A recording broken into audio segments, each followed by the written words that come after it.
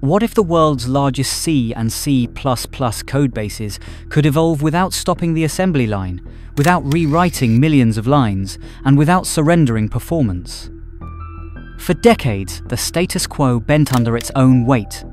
Backwards compatibility preserved every rough edge. Build times stretched, tooling groaned, memory safety incidents kept appearing. Production systems in browsers, operating systems, finance, and telecom met a hard truth at scale. When the language cannot retire old debt, the debt taxes every change. The question was not whether C++ could keep going, it was whether Teams could keep paying the bill forever. Before Carbon, Teams lived inside constraints that showed up on every dashboard. Cold builds took tens of minutes on large monorepos, and incremental compiles still spiked into minutes when templates exploded. Peak memory for builds ballooned into tens of gigabytes when metaprogramming met header duplication. Link steps remained slow and opaque.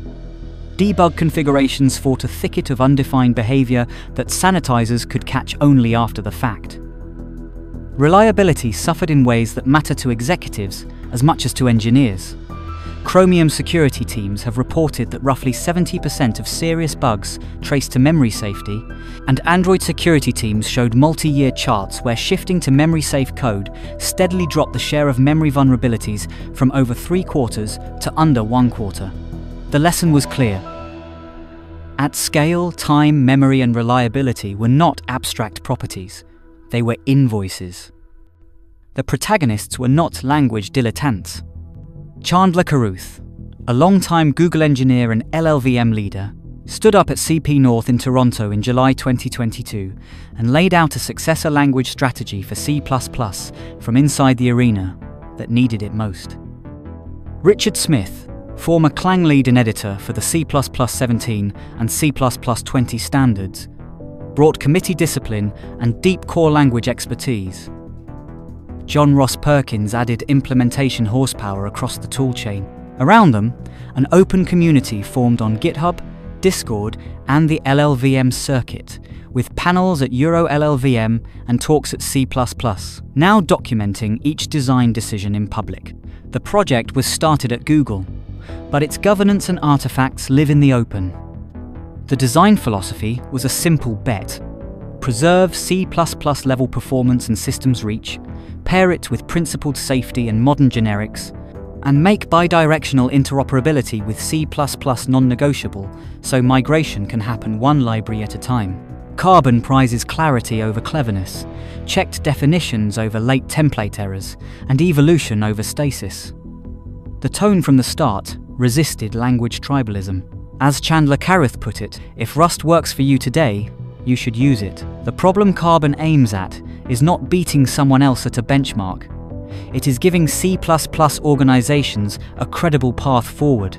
Under the hood, the project chose mechanisms that serve that path. Carbon is a statically typed, ahead of time compiled language with a conventional toolchain that produces object files and links into native executables. The implementation builds on familiar infrastructure, Clang LLD, libc++, and Bazel to script the pipeline. A nightly toolchain compiles Carbon source, and the language is available on Compiler Explorer for experiments. Interoperability is engineered, not waved at.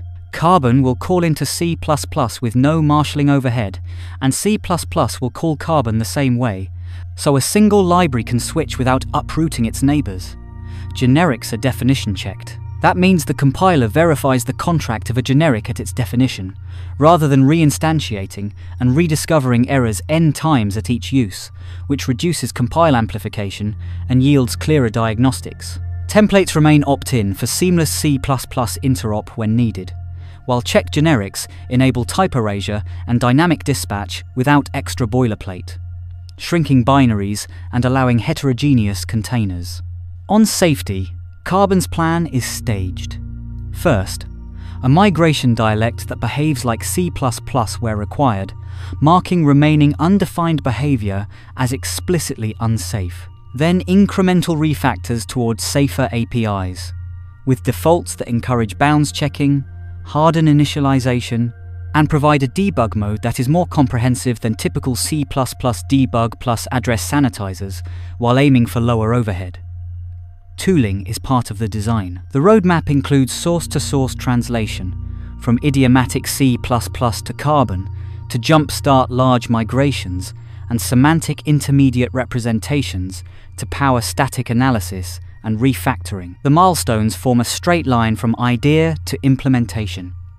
In July 2022, the project went public at CppNorth with an explicit successor strategy. In 2023, the team documented the path from interop to memory safety at C++ Now and began delivering design notes for generics, class types, and inheritance while evolving governance in the open. In 2024, they stood up a compiling toolchain, published nightlies, archived an earlier interpreter prototype, and shipped talks and panels at Euro LLVM, CppNorth, and NDC TechTown, showing the march toward a 0.1 preview. In 2025, the published roadmap expanded scope to design the memory safety story earlier, based on community feedback, while continuing toolchain work.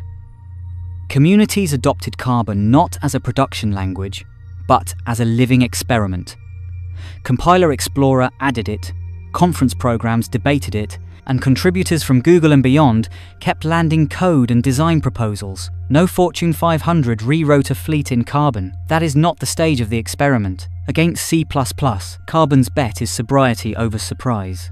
It keeps raw performance and native deployment, but replaces sprawling, unconstrained templates with definition check generics and rejects perfect backward compatibility so the language can actually remove debt.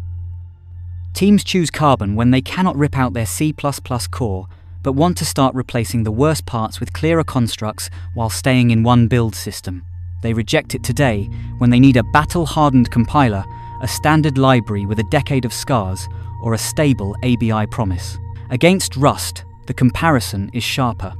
Rust gives strong compile time guarantees with a borrow checker and ownership model that have proven effect on memory safety and defect rates. It also asks you to meet the borrow checker where it lives, or sprinkle unsafe around the edges, and interop with large object-oriented C++ systems can require redesign. Carbon, by design, does not try to outrust Rust. It tries to let a C++ system move in small pieces, keep virtual dispatch and familiar idioms where needed, and layer safer APIs later. Teams choose Rust when they can carve out greenfield subsystems or accept redesign for stronger guarantees and a mature ecosystem. They consider Carbon when wholesale rewrites would stall product roadmaps, but they still want a path to reduce the risk profile of native code. Against Go, Carbon keeps tight latency, native deployment, and zero garbage collection pauses for performance critical paths, while Go wins on simplicity, concurrency ergonomics, and an enormous standard library for cloud services. If your problem is a fleet of RPC services and you control interfaces, Go likely remains the faster path to a stable system. If your problem is a performance critical library embedded in a browser or game engine, the Carbon and C++ world remains closer to the metal. The downsides are concrete. First, Carbon is young. The toolchain is nightly grade, platform coverage is limited, and many language features are still under design.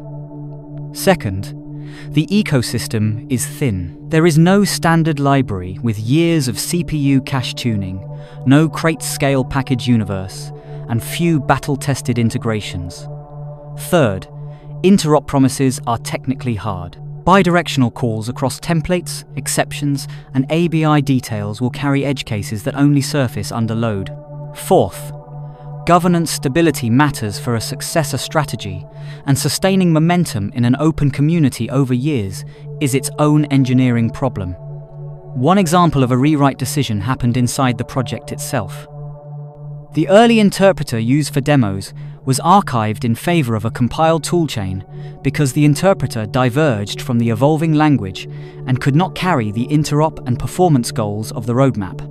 Outside the project, several security minded teams that evaluated their options have moved toward Rust for production components, including the Chromium project's decision to support Rust libraries from C++, precisely because shipping timelines demanded mature tooling and proven safety today rather than the promise of it tomorrow. Even in experiment, Carbon's choices map to measurable outcomes that organizations care about. Definition check generics reduce compile time amplification from template reinstantiations, shrinking both time and memory during builds on large codebases. A default debug mode that bakes in more checks than ad hoc sanitizer flags can cut mean time to reproduce by turning silent, undefined behavior into visible, erroneous behavior early in test pipelines.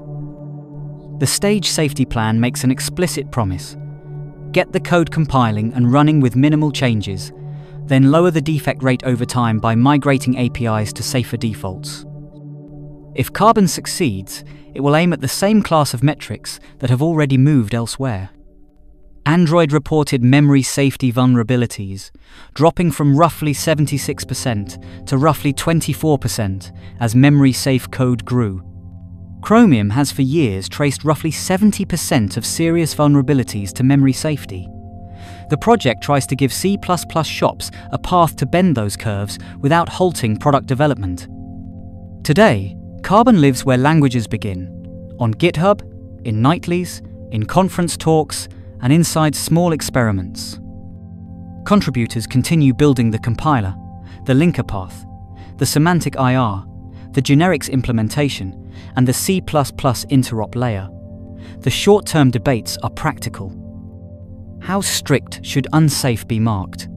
Which library patterns encourage dynamic bounds, checks without penalty in release builds? How to design migration tooling that produces readable code developers will actually maintain. The near-term roadmap themes are steady, Ship a credible 0.1 to let teams run pilots, stabilize interop across toolchains, keep documenting design rationales in public, and push the safety story from intent to implementation. Do not choose Carbon when a deadline demands a stable compiler, a rich standard library, and a mature ecosystem.